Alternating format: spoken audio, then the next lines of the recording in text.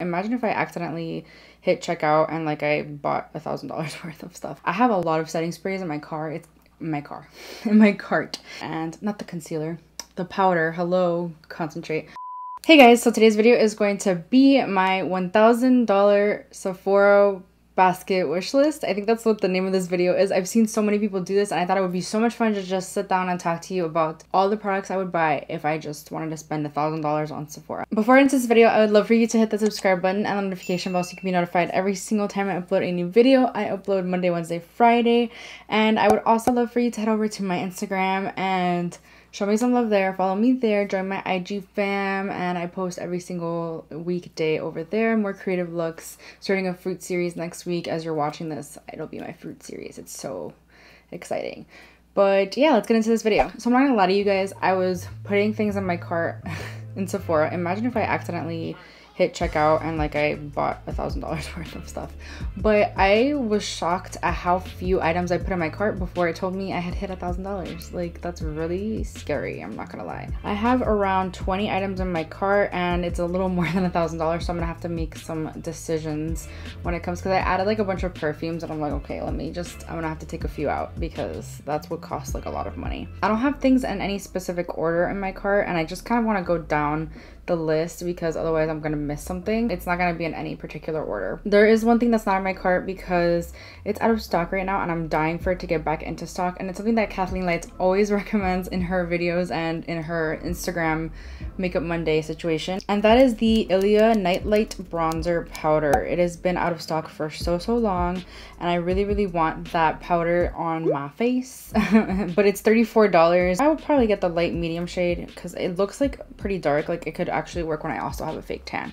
But she raves and raves about that bronzer. It looks like it is pretty in the middle, like neutral, like it's not too cool tone and it's not too warm tone. So I definitely want to check out that bronzer. I'm like, I need, I'm in need of a new, well, I just bought that Charlotte Tilbury bronzer. I don't really need a new bronzer. I don't need any of these, to be honest. I don't need any of these, but that would definitely be in my cart if I could have it in my cart. Next, I have some Patrick Ta products that I also want to try out. I actually just purchased one of these blushes, but it is the Double Take Cream and Powder Blush, but I got the shade, I actually purchased it. I'm going to do a haul with it soon. This is the shade She's So LA, and I bought this before I realized that there was like a huge Sephora coupon happening, so I'm really upset about that, but whatever. I definitely want the shade Do We Know Her, because it's like a nice peachy coral, and I love a good peachy blush, so I definitely want to get that one as well, but I want to test out this formula first and see if I really like it. I also would totally love to get the Precision Lip Crayon. It looks like it is a lip liner but it's like kind of thick. It looks like a brow definer but like in a liner form like you would put it on your lips. But anyway i want this shade she's not from here because it's a nice orange red.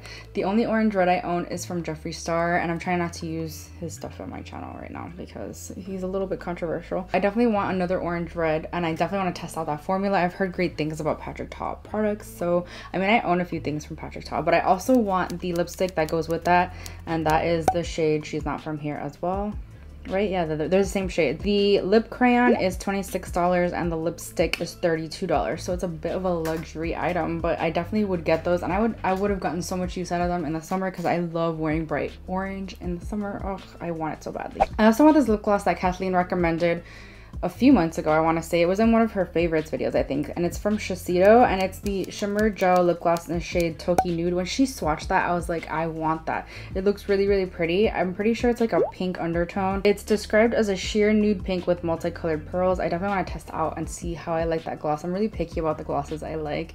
Like the one I'm wearing right now is from Alamar Cosmetics. It's the Dulce lip gloss and it's not too sticky. It is perfect. It gives a really nice sheen to the lips. It makes your lips nice and juicy as Kathleen would say. But but she really likes that one so I definitely want to try it out as well. I also really want this Huda Beauty Legit Lashes Double-Ended Volumizing and Lengthening Mascara. The reason I haven't bought that yet is because I have so many mascaras to go through because I'm on the Benefit PR list and they continuously send me mascaras and I'm like, I love you for that because Benefit mascaras are my favorite. Like I'm wearing the Bad Gal Bang right now. It's absolutely my favorite mascara in the whole world. But I don't want to buy more mascaras if I have so many in my collection already. So I've been holding off on that one. That one's $27 and I'm just like, ugh, I don't know if I would buy that. I also want to try out the Smashbox Photo Finish Primerizer. I've been wanting to try that for so long. The only thing that's holding me back is that I've heard it's like a really nice hydrating primer, but it doesn't do anything for smoothing the skin. And I really need that smoothing the skin situation because I have large pores. I mean, I do have dry skin, so I'm sure I would get some use out of it. I'm just like afraid it won't like cater to my every need if you know what I mean. So I have been holding off on purchasing that one. I have a lot of setting sprays in my car. It's in my car, in my cart.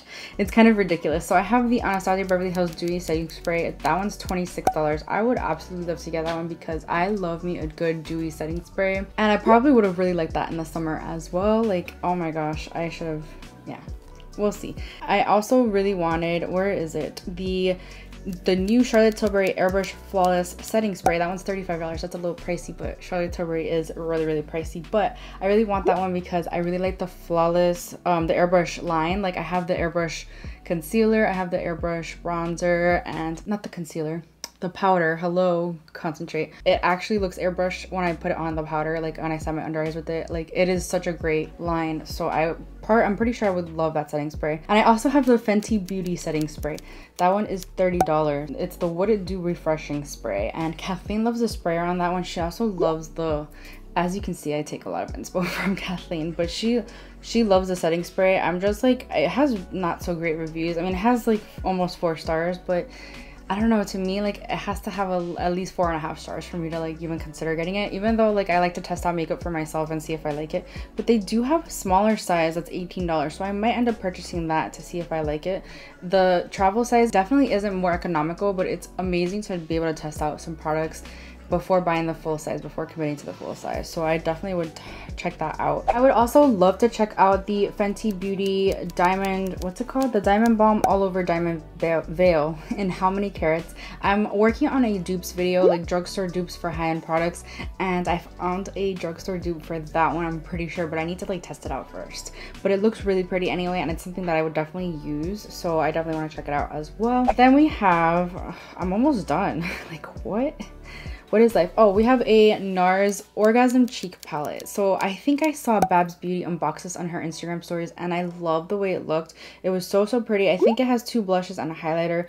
I love the NARS blushes. They're one of my favorite formulas of all time. They do look really, really pretty and they look like a little, like they have a little bit of a sheen, which I like in blushes sometimes. And the highlighter looks really, really pretty. So I definitely want to check it out. It has really great reviews as well. And that one is $42.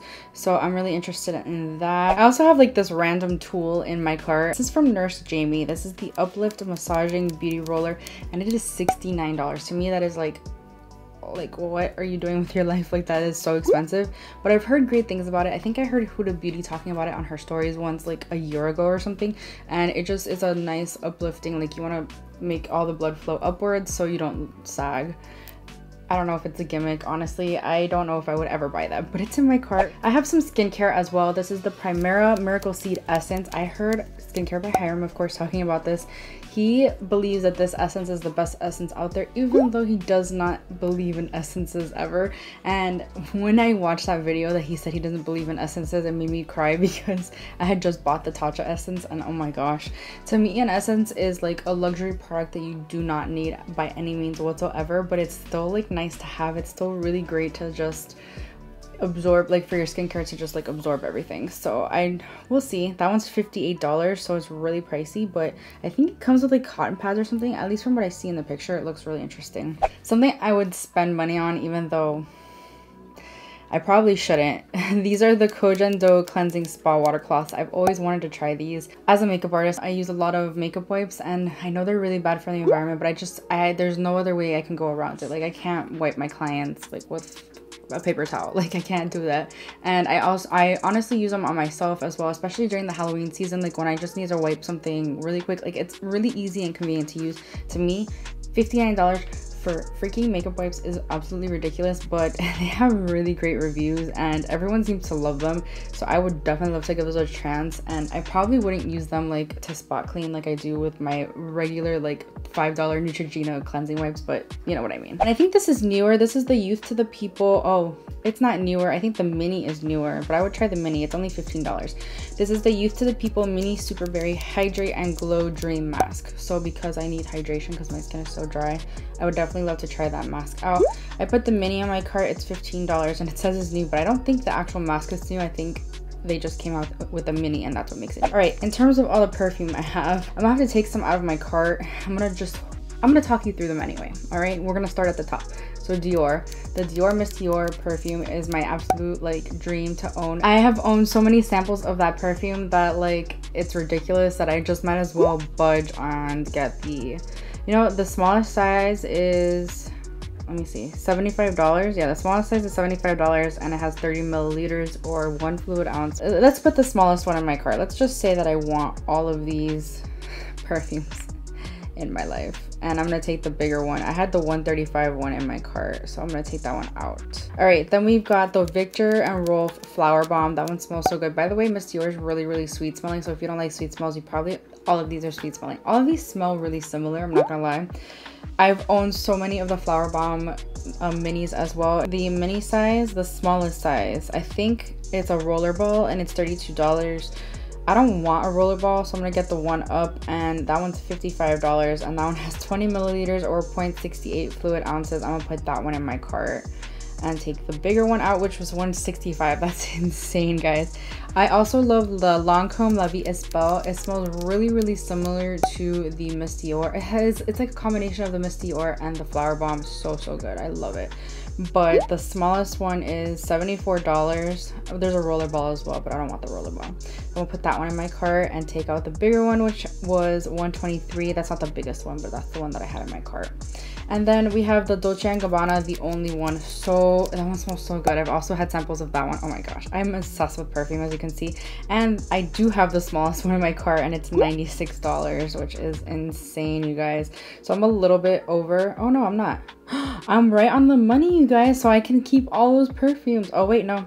I have one more. I forgot one. This is the Yves Saint Laurent Black Opium Oh my gosh, you know what? La Vie Est Belle, the Lancome one, smells like a mix of black opium and like flower bomb. They all smell so similar. Like it's really hard to tell you the difference and I'm really bad at describing scents. But I love all of those scents so, so much. And I think I had the smallest one in my cart. That's not the rollerball. The rollerball is $29 and the one that I have in my cart is 76 and that one is a one ounce 30 milliliter. Oh my gosh. That's a thousand dollars and 45 cents. So honestly, I'm crazy.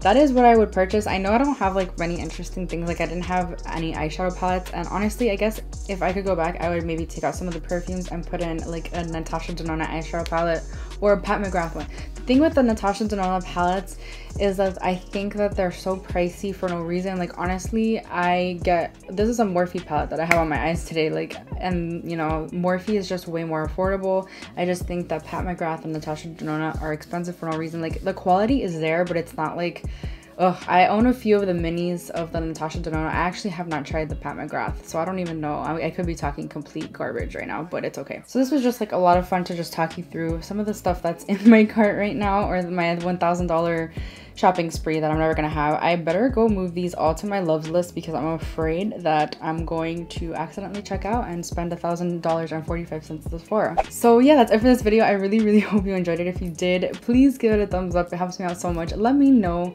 what you would buy if you had a thousand dollars to spend at Sephora because this is just so, so much fun. And please subscribe if you haven't already and I will see you guys in my next video. Bye. I'm not gonna lie to you but yeah i don't know. I don't have any i don't have anything. And uh, that is the and i would definitely get the shade um the, i also want this lip gloss that uh, hello